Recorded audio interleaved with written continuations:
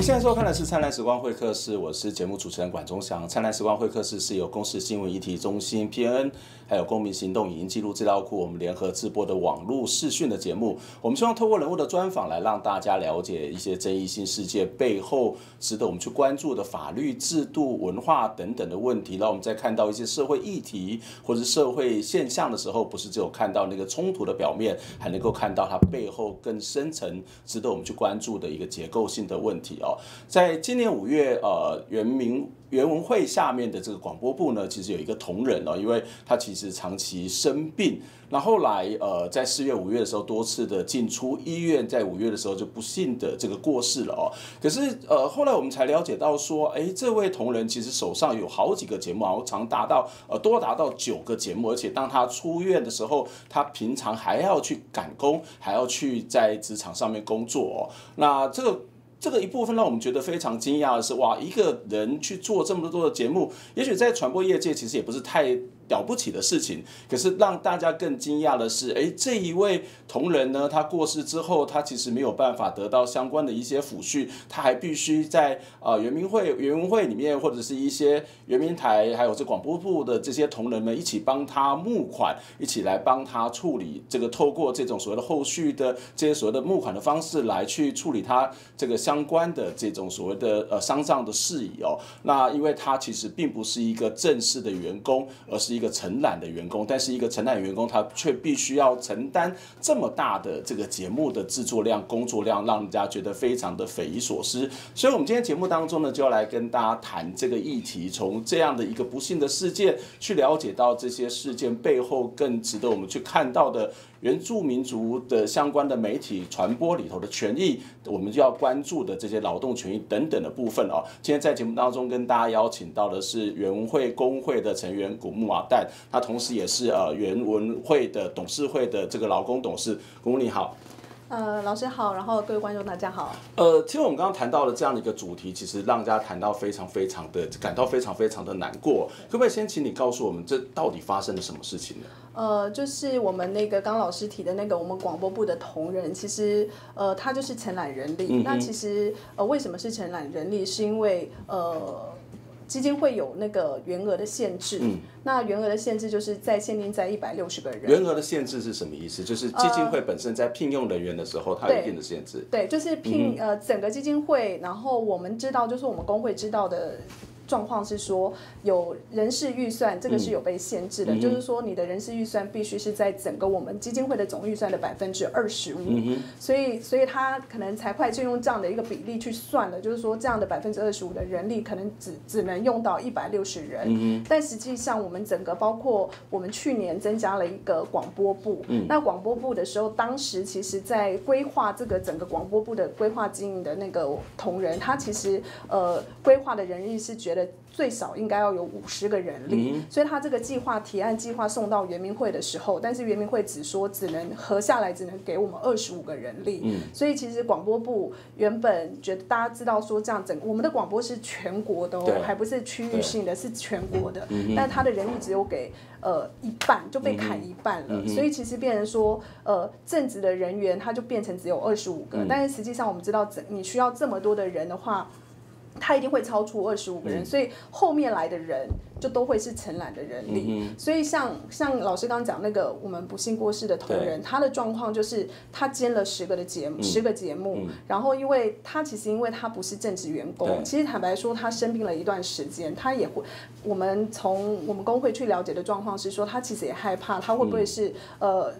请假请很久之后，像他病好了就没办法来上班，所以他那时候的状况是说，他其实呃也才刚出院，但是还没有病情也都还没稳定，还需要疗养，他就他就赶回公司上班，他也放不下他的工作，一来放不下工作，一来也怕说会工作没了，所以他就是在到公司上班的途中，然后就昏倒在昏倒，然后昏倒之后送到医院，在加护病房之后就不幸过世。后来我们才知道说，哦，原来承揽人员是因为我们有我们的工作规则，有一些相关。的补助嘛，例如说可能因公过世，或者说你因病因病过世的，都会有一些抚恤。可是后来才发现说，哦，原来承揽人员是什么都没有的，就是他不是他不是正职员工的话，他什么都没有。那那时候包括最基本的一些保险也没有都没有，就是连。所有的保险都没有，所以就是变成，因为其实我们的承揽人员是什么，你知道吗？就是呃，公司在跟他们签合约的时候，合约有一条就是要求他们必须自己去找所其他的。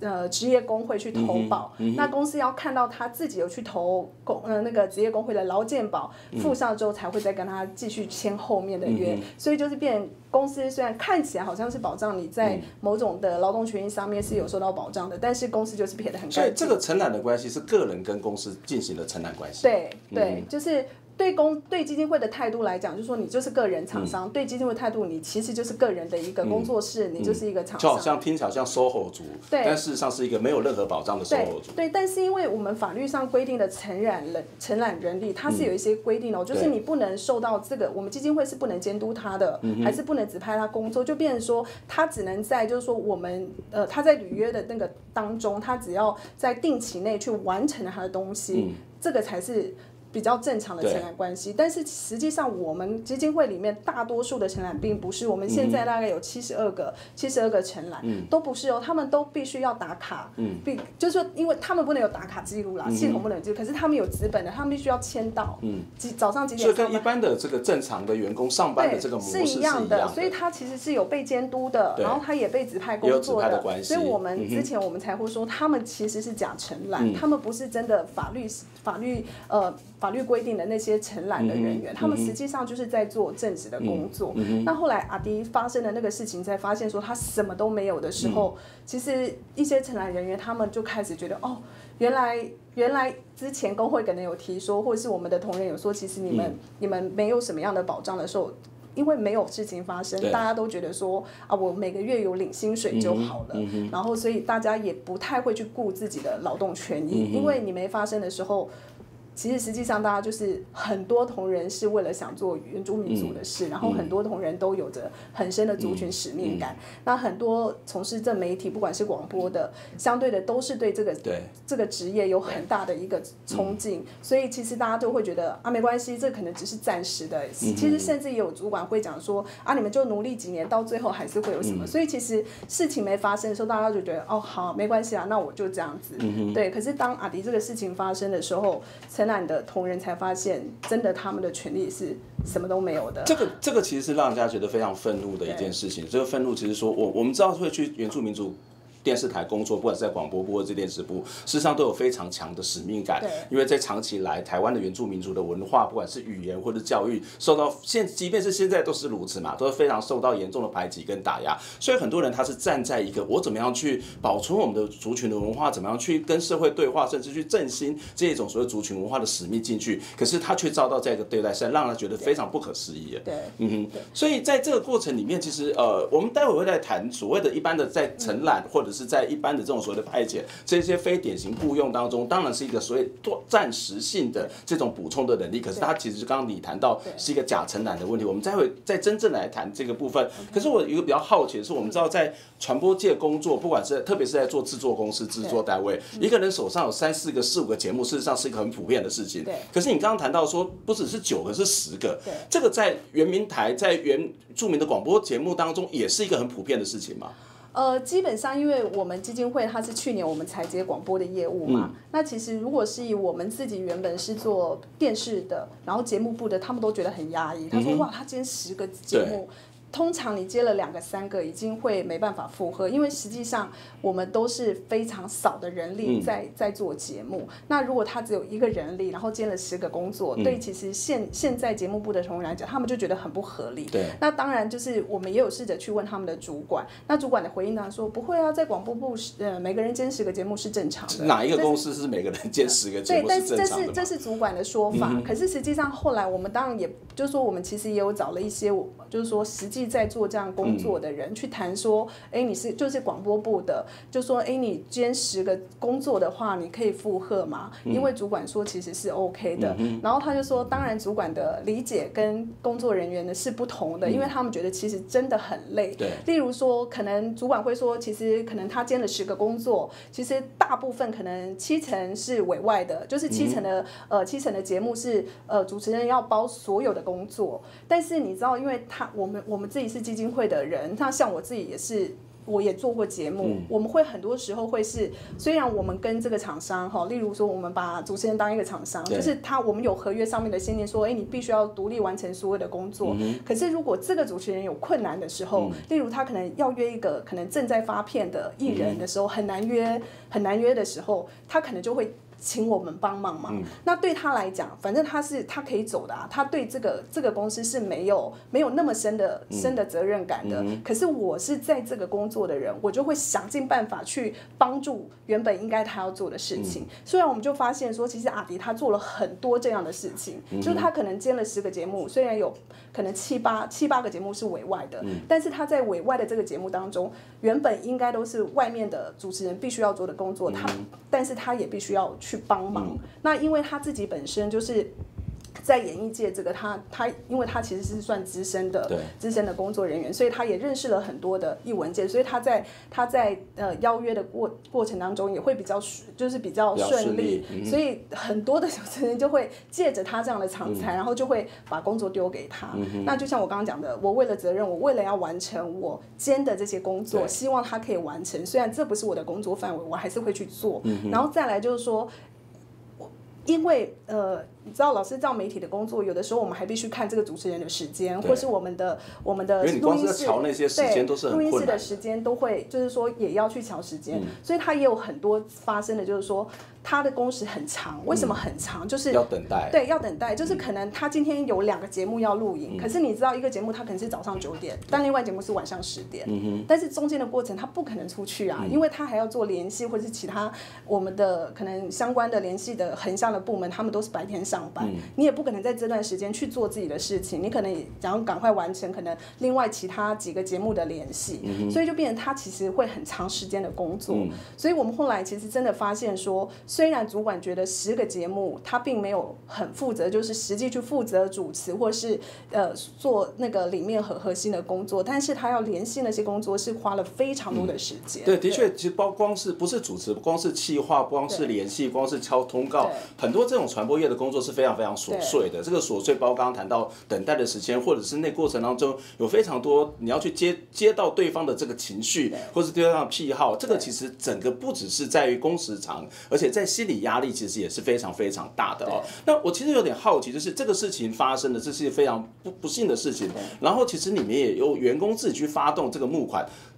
资方的态度是什么呢？员工会的态度是什么呢？老师，我跟你讲很好笑，游泳会的态度说，哦，我们会请行政人员去协助看看他的劳健保的后续，就是撇得很干净，就是说，因为他就是。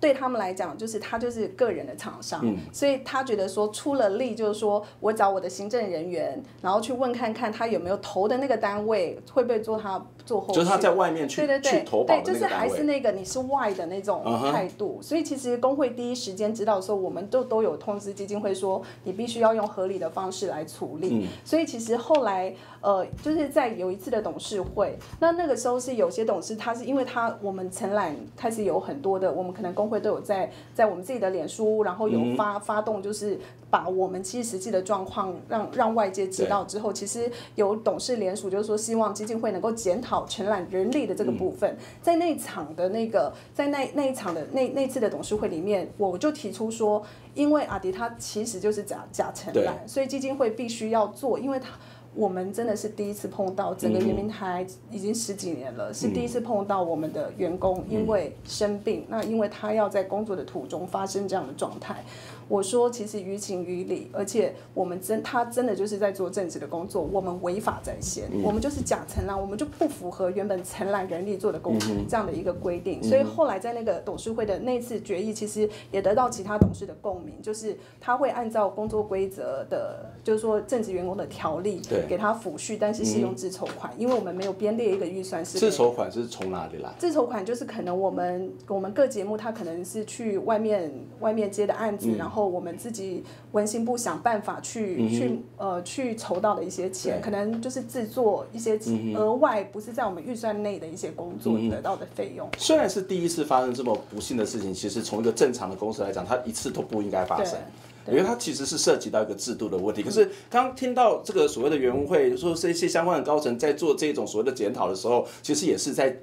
补补这个所谓的破洞。这个补破洞是说我怎么样把这个啊找到这些钱去抚恤金来去协助他去办后事的丧呃丧葬事宜，或者他后解决他家庭上面一些需要。可是更大的是一个制度嘛。我们先休息一下，我们待会再看看到底这个制度上面有没有去做任何的反省跟检讨，或者是他应该怎么去反省跟检讨。我们先休息一下。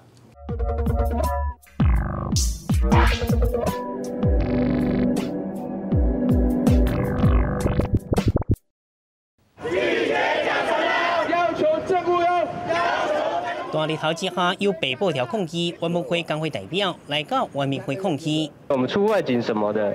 我们做承揽人员根本就没有所谓的加班费，你出都没有。我们也做的事也是跟他们一样。两百五十里面就有七十二人是用承揽，到就是大概有三成的人力是用承揽。那其实这些承揽有些同仁都已经超过一年以上了，也代表说这个工作其实是跟正职一样，它是必须要。呃，长期性去工作。现在劳工不满，明明工作内容拢甲正职员工共款，有人搁做过六年，根本都毋是临时能力。结果福利甲基本款益，亲像劳保、健保自费险，现在人员一年都比正职人员加付两万外块，搁无都有年终奖金、特休假、加班费，甚至是一再给固定保障。因此要求完民会负主管机关责任，专家编列符合完民会所属人员，并且将给新来人员纳编。我希望我们联文会的董事会，也就是资方，呃，就他们的整个专业的规划，到底这个我们的员工的实际能力有多少，他们应该要做整体的专案的研究。完民会嘛表示，已经要求完民会进行人力规划相关建议。预计九月到十月之间会完成，到时阵你哋尽量部分会更加明确处理。按那一生，买一家完不会实际需求，可以协助。记者综合报道。欢迎回到灿烂时光会客室节目的现场，我是节目主持人管中祥。今天在节目现场跟我们一起聊天的是呃原物会的古木瓦代，古木你好。老师好。呃，今天非常谢谢你来跟我们谈刚刚那个。故事这个故事其实我们听起来是非常非常的难过，因为它不是一个个人单纯说身体好不好的问题，而是它背后整个公司系统怎么去带他对待他的员工，那怎么样去这个所谓的去做一个支持的体系，更何况这是一个国家的这种呃原住民族的这种或族群频道的一个非常重要的工作，而这个原文会事实上也是一个半官方，甚至其实还有非常浓厚的一个官方色彩的一个一个机构，从我们的政府去做这件事情，你就会发现这个。政府实际上对劳工的权益跟态度几乎是一种漠视的这一种状态哦。刚刚有谈到一个问题，就是说，呃，其实你刚刚谈到说人事的这个比例只能够占百分之二十五，所以导致你们有这么多的这个所谓的承揽员工，为什么是百分之二十五呢？这个在有任何的法令上面有这样的规定吗？其实我们一直对这个预算，就是人事的预算，真的也很纳闷，所以我们尝试问了很多人，问了基金会，然后也问了圆明会，但是圆明会就是否认。圆明会说，你们的所有的一些经营管理都是属于基金会内部的，最高的决策权就是在董事会，所以他不会去干涉基金会里面所有的运作，包括人事，包括预算。那是谁定的？呃，二十五是谁？到底有到底有没有这个二十五？实际上我们查了之后，现在是查不到，根本没有。但是基，我们问基金会，基金会的人就说是原民会要求的。但是问原民会，原民会就说他们不能要求这个东西。然后甚至也呃七月中的时候，我们因为承揽的人力，我们去原民会抗议。因为我们问基金会的时候，他们一直说他们决定权是在原民会，所以我们才到原民会抗议。然后那时候是处长接见我们，然后处长也是很义正言辞的说，我们真的不会干涉你们，我们不可能伸手去媒体来管理。然后我我们也当场我们也问了，就说可是基金会就说。人事预算，所有的人力都是你们定的。处长很生气，跟我们说：“你找那个人出来对质。”嗯，你找那个人出来对质。嗯，所以他在他在我们的面前就是这这么说。所以我们又回到基金会，基金会又说是原民会。那坦白说，你要找那个人对质，他不敢啊，他怎么敢对质？你是你就是一直在在要求，就说你是我们的主管机关，你找那个人对质，他也会怕，他是他的工作会不保。所以所以到底有什么法条没有？所以现在都是一个谜。是一个谜，嗯，对，其实就是就是一个谜。可是你说最早是百分之二十五，但是其实我们从公广集团离开的时候，袁文会接经营原原明台这个时候，其实有很多的办法是都还是。因为他们只有半年的时间去筹措，然后去经营，所以其实像有关我们的薪资要点、我们的考绩要点办法都没有都没有出来，所以我们工会第一年都打这个打得很打很久，然后最终你出来之后算算之后才发现，其实我们的人人事预算一定会超过百分之二十几，因为但是你这个考绩你一定要给人家的，所以后来重新做评估之后算了之后，其实我们现在的人事预算早就超出百分之二十五了，所以你说。二十五最早的二十五到底是谁定的？没有人要承认，也没有人要说清楚。可是现在实际上我们应该已经有百分之三十几、四十几，因为你还必须要算我们每年考金生的，因为我们一百。呃，二零一四年员工会经营到现在，所以其实在这过程当中，我们已经有同仁是呃，因为考绩好，然后必须升等的，就是要加薪的。所以你这样整个算起来，其实我们的整个每年的人事预算费，它就是已经超出了百分之二十五了。但是到底谁定的？现在都没有人说实话。嗯会使用这样的一所所谓刚刚谈到所谓的派遣，或者是刚刚谈到承揽，事实上在政府的一个相关体制，其实常常可以看得到的。可是当时做这些工作的目的，事实上这样的工作的类型的目的。是一种补充，就是啊临时性的工作，所以我们就需要临时性的人员。可是你刚刚谈到记者，哎，或者是在一个电视台的一个所谓的制作人员，他事实上通常就是一个长期性的聘任的关系，更何况你刚刚谈到是一个职位的关系。可是，在现实的运作上面，的确会常常会发生这个事情。但是，我觉得比较好奇的是，其实你们正职的员工并没有聘满嘛？没有。在一个没有聘满的情况底下，为什么还大量的使用这个承揽呢？呃，我们也很怀疑，因为我们有时候也会试着问说，你其实我们现在其实应该还有大概十个左右的正职人员，但是其实这个十个就十个左右名额，对正职的名额，但是这个都会变成是一级主管他们的口袋，OK，就他放口袋啊，他就是不出来给你嘛，所以就变成我们我们就是合理的怀疑说，你放这十个是不是要给你你觉得你属意的人？虽然你是用公开的方式在在。招聘人员，但是你什么时候要提正职啊？谁要给正职？其实都是主管定的。嗯，对，所以他们要承揽，要多少承揽也是主管会议定的。嗯所以其实最大的问题还是我们怀疑还是在主管啊，因为你把那些其实实际上还有原原额的东西，你就是一直不试出来啊。那但是你真的的确要这些人，因为就像刚讲的，记者他是他不是阶段性的工作，哎，他是一直持续的工作，哎，还有你节目的企划，你节目的制作人，再是我们工程部的工程部的那些专业的人员，你都是都是持续式的工作，所以他们就根本就不是承揽嘛。但是你你要这么多人，那你基金基金会是不是应该要努力去想办法去说服可能主管机关说，的确我们需要这么多人力，那是不是可以让我们真正的独立营运自主？我们可以，例如像公事，其实超出了很，就是说，其实人事预算是他们的一半，但是公事有有很努力的在自筹这个部分。那如果我们真的是独立营运自主，如果主管机关真的没有干涉我们的人事预算，那我们真的也很想问，那到底基金会？不能做吗？嗯哼，即使刚刚谈到圆明会没有任何的直接的这种所谓干预，即使真的没有，但是其实在制度的设计上面，它事实上就可以决定这个公司、这个机构的存活，而甚至刚刚谈到的这个制度的设计上面，也会让很多的人事权是掌握在特定人的这个手上，也许是基金会，也许是主管，也许是其他各个部分。所以那个所谓的公开透明，或者是在那个制度本身的健全，其实是很重要的。其实说实在的，这个圆明台整个的这个发展当。当中啊，它事实上一直处在一种不稳定的状态。从过去的呃台式到东升到公视，现在是一个独立的这个在原文会下面的一个独立的机构，看起来是一个独立的机构。那看起来是比过去稳定了，因为不再是在找别人来去经营嘛，哈，那不是那种所谓委外的方式看起来稳定。可是它问题还是一样很多。作为一个资深的员工，你怎么去看待在这几年这个不断的换老板、不断的换雇主，然后不断的在工作不稳定的状况，这几年来有什么样的变化？有更好吗？呃，其实我们其实我们自己 同仁在讲说，我们其实真的内心很大的一个呐喊，就是说我们可以不要再流浪了。你看，其实从最早的台式文化到东升，然后在公司，其实原本大家以为说在公司我们已经是一个会有安稳的家了，因为那时候公事法已经明定说公广集团包括圆明台嘛，所以我们就一直以为说哇，它原来是哎，我们可以在这边很长远的一段时间。可是因为后来后来原文会的设置条例才成立嘛，所以它的条例里面。面就说你要经营，其实当时也公广公司法还没有修法，所以它其实并没有这个原明台在里头。对，但是在这个呃这个所谓的广电法的相关修正案的时候，有提到就是他们要去优先承揽这些族群频道。对对，所以后来后来就有就圆明台就从东升到这里。对其实我们在这边也八九年了吧，八九年时间。嗯可是因为有园文会的成立，所以后来就是。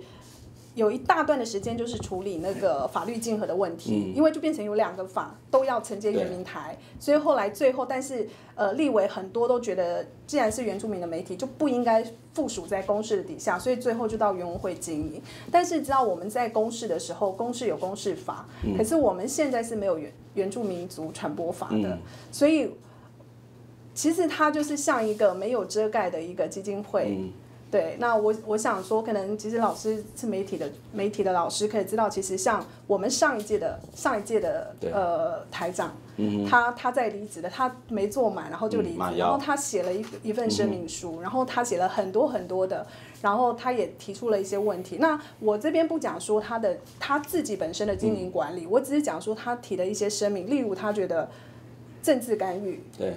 例如他觉得其实真的没有独立自主营运，嗯那我也我们也必须进，我们工会的同仁也都觉得其实是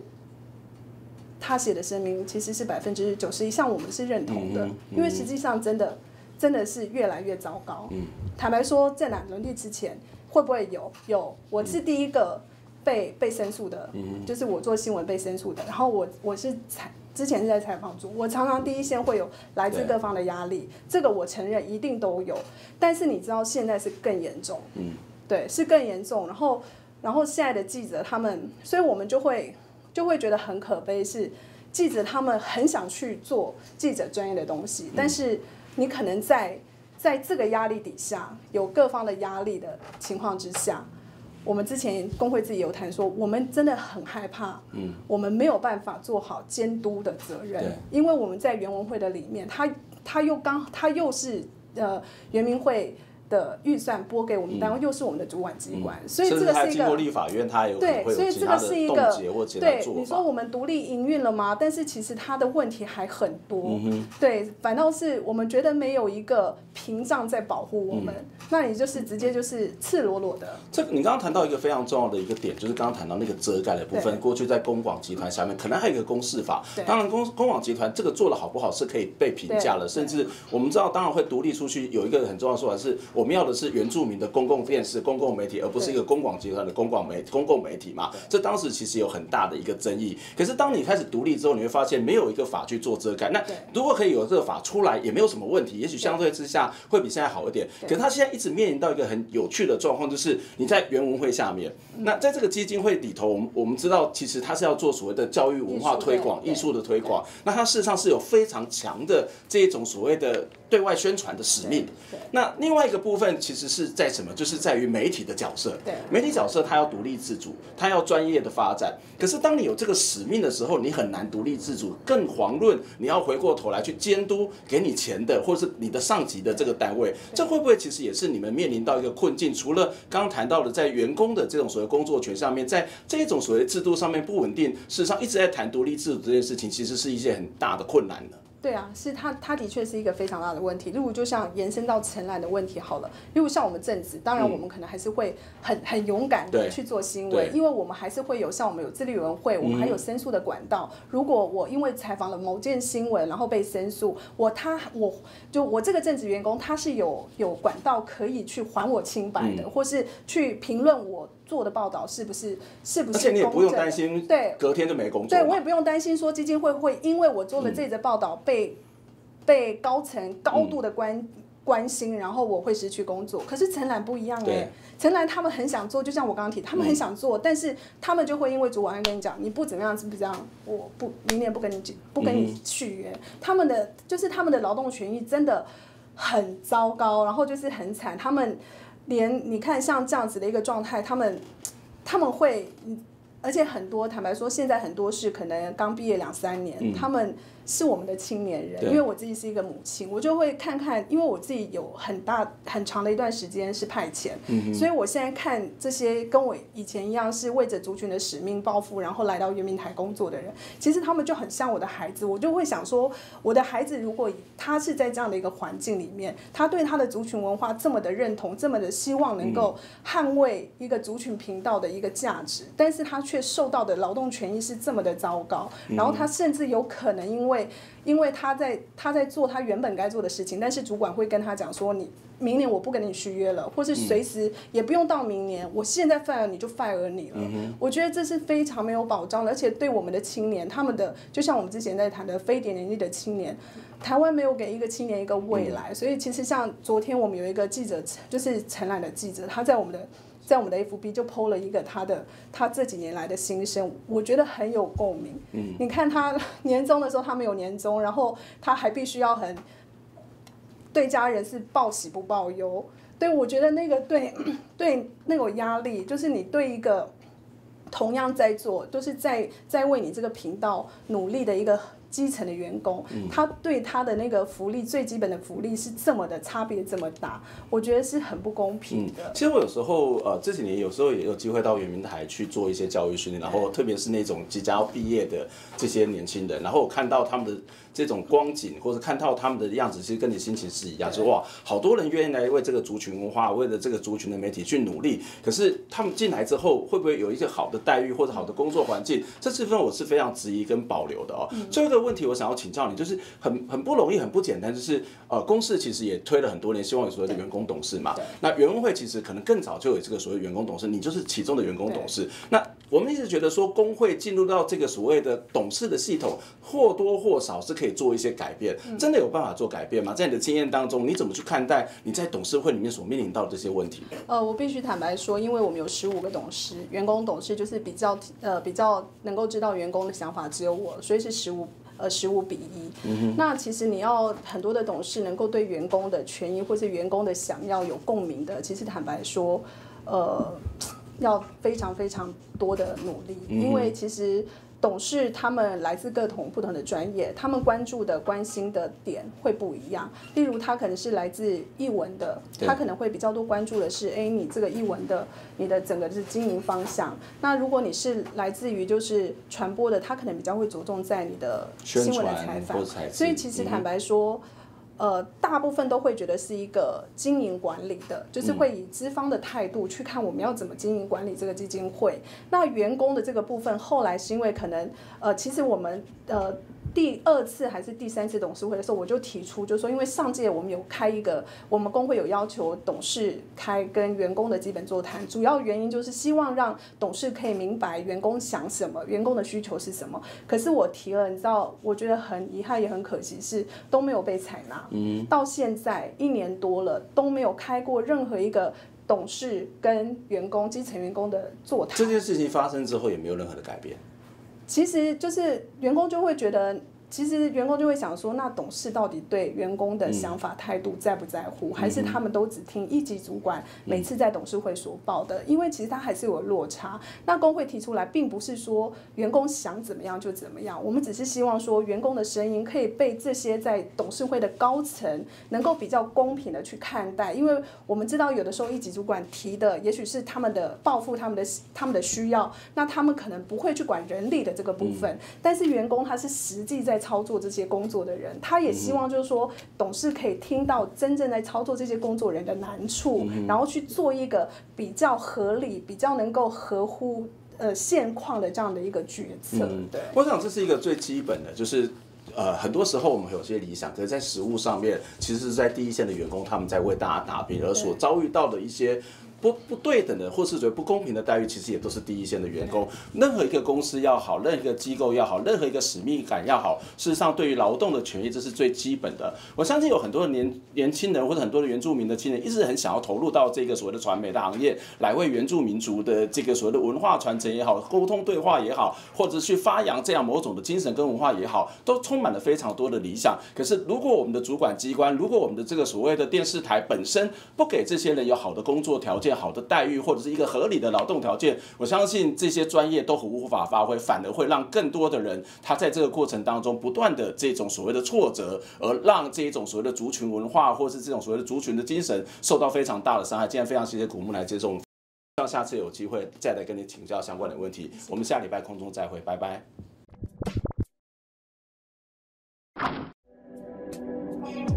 欢迎来到这礼拜的管建新闻哦，在这个礼拜的灿烂时光会客室，我们跟大家谈到的是有关于圆明台的这个承揽的问题哦。从一个圆明台的员工的过世，呃，我们看到了这圆明台整个制度上面对劳动条件的非常的不重视，造成了这个人员的伤亡，甚至等他过，但他过世之后也没有办法好好的用呃正常的这个抚恤的方式，反而要透过这个呃工作人员这些员工的捐款呢，实在是让人家觉得非常不可思议哦。不过在这个事件发生的同时，我们的呃行政院院长其实也提出了有关劳动的政策是。有关于怎么去解决这个公司或者是公部门派遣能力的问题，我们来看一下这一则报道。公部门办公室见到的驻点助理处理行政或是专案工作，属于企业劳务承揽，依照采购招标合约内容做人力运用，监督管理权是在得标企业手上。由于行政院长赖清德日前喊出公部门派遣人员两年内归零，劳团担心只是将派遣变为劳务承揽，依旧是非典型劳动者，离直接雇佣关系更远。不要那么虚伪的说是要归零，要直接雇佣，可是实际上呢是把另一批人从派遣变成了劳务承揽，那那些人的工作条件没有改变，那他的不安定性那比以前更糟，只有这样子。再问一次，为什么直接雇佣有那么难吗？劳动派遣产业工会更指出，如果政府将派遣工改为自然人承揽，而不是企业劳务承揽，员工就必须自付劳健保，没有加班费和特休，工作更没有保障。不过行政院澄清，目前行政院旗下部分的劳务承揽属于企业劳务承揽，并没有自然人承揽状况。未来会将派遣工转为自雇员工，但部分业务确实需要以承揽方式外包。这个政府机关有一些业务哦，它恐怕要必用承揽来进行，例如呃这个清洁，或者是电脑维修，或是驾驶。好，但是呢，即便是用承揽的方式，政府机关都有义务必须要检核。这一些企业，它是否符合劳基法？劳团呼吁，希望两年内盘点全国公部门非典型雇佣人数，立即采取直接雇佣关系，并且修订政府采购法，将不良厂商淘汰。行政院回应，劳动部会定期检核外包厂商，尽力保护劳工权益。记者韩英吴家宝、陈保罗台北报道。在这次的报道当中，我们看到啊赖奎似乎想要去解决这个派遣能力的问题，可是这个方法引起了这个劳团的一些争争议哦，或是一些不满，就是如果你把这个派遣停掉了，可是全部变成是自雇或者是承揽的方式，其实并没有真正解决问题，因为当你开始用。呃，这个所谓的承揽，它就会出现像圆明台一样的状况哦。那当然，这并不是说没有办，不是公部门不能够去用这种短期的力。可是我们要提醒公部门，在相关的法规当中，它就是一种短期或者是一种任务型的编注，你不应该把这些长期的呃雇佣，甚至包括清洁人员这些长期的雇佣，都当做是一种所谓的承揽的或者是派遣的方式去处理，因为你没有办法解决问题，反而会造成更大的这种劳动上面的伤害。另外一则新闻是跟我们长期关注的亚太技术创意技术学院的这个呃办理停办这件事情是有关的。亚太创意技术学院大门没有警卫，进出根本毫无管制，校内也完全看不到有学生活动，而包括陶艺专业教室在内的多栋教学大楼已经完全没有电力。学校老师认为。校方不安排校警进行断电的举动，是想逼走学生。那我们也真的不知道为什么教育部呃，就是配合着学校打假球。明明没有核定停办，明明只是停招而已，却做出停办的所有的动作来恶意清光师生，这个是我们也很想呃问教育部的部分。黄老师表示，目前仍不愿意转学的学生有八十二位，教育部日前要求亚太停招，亚太董事会自行宣布在七月底停办，但停办计划其实都没有送到教育部审核。而校方解释没有刻意断水断电。上个礼拜学校做那个年度岁修的时候，那高压电的电，因为之前有发生电瓶爆炸，所以我们有一某几栋楼因为电瓶爆炸，所以高压电的电瓶有损害，所以那那几栋大楼因为这样子的关系，所以目前是无电可使用。那其他部分都是正常供应的。校方表示，虽然尊重学生原校毕业的选择，不过因为学校目前经费、师资和设备都不足，转学对学生是最好的选择。而教育部则强调，亚太并非停办，仍需提出下学年教学计划。因为这个学校就真的没钱了，他当然要想办法节流。那现在就说，我们要求学校要把下学年度